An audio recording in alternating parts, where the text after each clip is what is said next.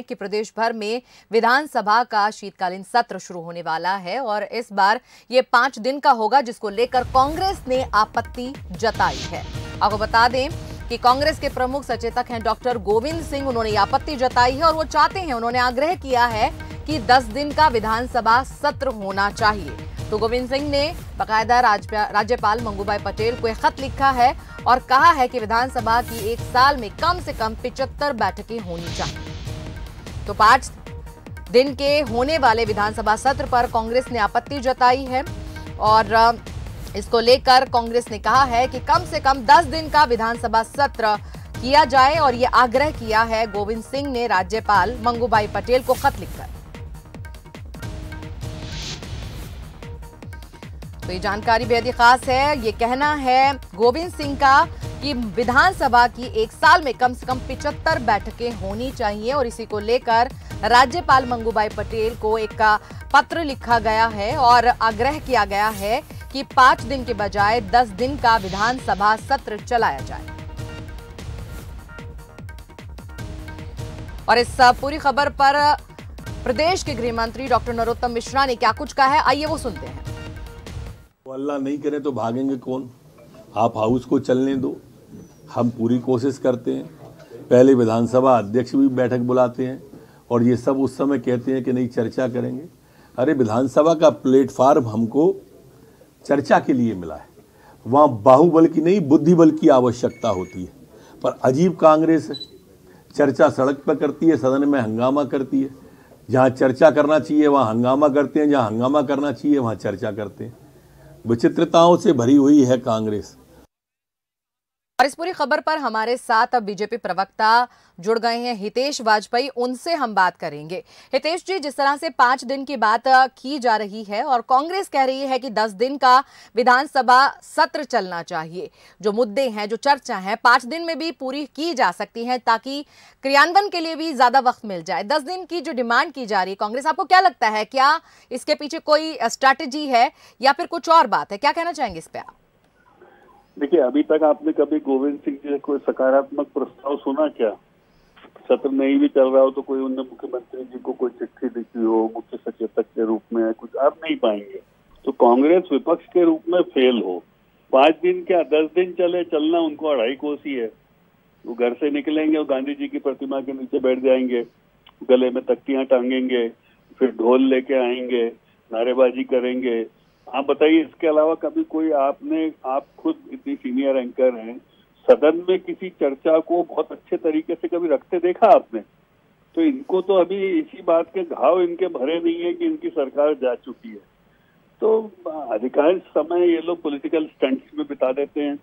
तो इसीलिए मुझे ऐसा लगता है कि कोई तर्क सम्मत इनके पास कोई आधार नहीं है किसी बात को या एक्सटेंड करने के लिए कहने का कि भाई किस वजह से आप चाहते हो। क्या आपको लगता है कि पाँच दिन में ये चर्चा नहीं हो पाएगी? बताओ भाई कौन सी चर्चा नहीं हो पाएगी पाँच दिन में? तो बता दीजिए। दस रखते तो बोलते कि साहब बीस दिन की चर्चा करो। जी तो जी। कुछ ना कुछ कहना है बस। जी के के मिश्रा भी जुड़े हुए हैं कांग्रेस के नेता हमारे साथ उनसे भी जान लेते हैं।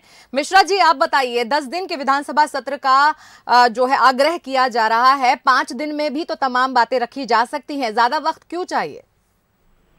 देखिएगा जो विधानसभा का कॉन्स्टिट्यूशन है उस कॉन्स्टिट्यूशन के हिसाब से एक वर्ष में पिचहत्तर बैठकें आउट करने का नियम है। और जनता की गाढ़ी कमाई विधानसभा और संसद के सत्रों में करोड़ों अरबों रुपयों तक की संख्या में जाती है। तो क्या आवश्यक है कि सिर्फ़ पाँच दिन में ही चर्चाएँ कराई जाए? क्योंकि एक असफल सरकार विपक्ष मौका नहीं दे, देती, देना चाहती है। कि विपक्ष अपनी आक्रामकता से सरकार का वास्तविक स्वरूप जनता के बीच लाए। यही कारण है कि सरकार कहीं कोरोना का बहाना बना के तीन दिन में सत्र आउट कर देती है और तीन दिन का सत्र भी दो दिन में खत्म कर देती है। पाँच दिन का सत्र करती उसे तीन दिन में खत्म कर देती है। यदि सरकार विकासशील है, सत्रह सालों में सरकार काम किया है तो सरकार को शर्म क्यों आती है जनता के बीच विपक्ष की आवाज़ को सुनने में? कि मिश्रा जी साथ ही साथ बीजेपी का यह भी कहना है कि कांग्रेस सदन को चलने नहीं देती। अगर बात रखनी है तो रखी जाए लेकिन आप लोग सीधा जो है विरोध पर आ जाते हैं सदन चलने नहीं देते हैं। इस पर क्या कुछ कहेंगे आप? विपक्ष विपक्ष यदि सदन में बात नहीं करेगा तो क्या गंदे नाले में करेगा छोटे तालाब में बड़े तालाब में करेगा? हितेश जी, आप बताइए। पार्टी जो जो भारतीय जनता पार्टी तर्क दे रही कि हम सदन नहीं चलने देते हैं तो विपक्ष के दौरान संसद में भारतीय जनता पार्टी ने क्या किया था? साठ साठ दिन सत्रों सत्र के सदन को नहीं चलने दिया था। तो भारतीय जनता पार्टी कम से कम हमें ज्ञान ना दे और विपक्ष सदन में नहीं बोलेगा तो कहाँ बोलेगा? यदि आप में नैतिक साहस नहीं है देखिए मैं बोल सकता तो हूँ आप जी, जी, बोलिए। सत्र को आउट कर रहे हैं? आप? मिश्रा जी संविधान जी को सुनिए। हेलो? देखिए मेरी मैं बात हो जाने मैं दीजिएगा। केवल मैं केवल मेरी बात हो जाने दीजिएगा प्लीज़। डॉक्टर साहब मेरी बात कह रही है मैं तो इसलिए बोल जी रहा हूँ मिश्रा जी अच्छा मिश्रा जी आप कंप्लीट कीजिए अपना अपनी बात रखिए आप। जी मेरा निवेदन डॉक्टर साहब से यानी डॉक्टर साहब के रूप में भारतीय जनता पार्टी से या सदन से यही है कि दो दिन पहले हमने संविधान दिवस मनाया। संविधान दिवस पर खूब अच्छे अच्छे भाषण दिए। तो संविधान के अनुसार ही किसी भी सदन में विपक्ष को अपनी बात कहने का संवैधानिक अधिकार है। तो सरकार उस अधिकार को क्यों छीन रही थी? संविधान दिवस मनाने का औचित्य क्या है? सरकार को चाहिए, भाई माननीय दिग्विजय सिंह जी के शासन तक नब्बे नब्बे दिन, साठ साठ दिन के सत्र चले हैं। तब भी सरकार थी, तब भी विपक्ष था, और तब तो सुरेंद्र माफ़ कीजिएगा सुंदरलाल पटवा जी जैसे, विक्रम वर्मा जी जैसे सदन के नेता थे, कैलाश जोशी जी जैसे नेता थे, उनको भी कांग्रेस पार्टी ने सेफ़ फेस किया है।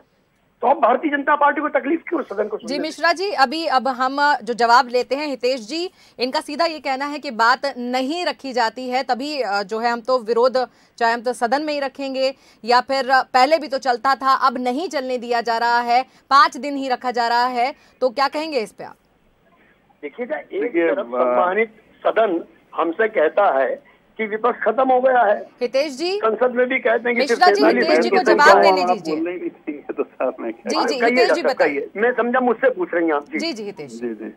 मैं बस इतना निवेदन करना चाहता हूँ मुझे बहुत दुख हुआ जब उन्होंने कहा कि नाले में जाके कहेंगे। तो देखो साहब क्या होता है अपन अपन खुद ही संसदीय मर्यादाओं का पालन यदि नहीं करेंगे मिश्रा जी तो बताइए बहन जी इतने अच्छे से सवाल कर रही है आप भी अच्छे से जवाब दे रहे हैं। यही चीज़ तो कांग्रेस की खत्म हो गई है।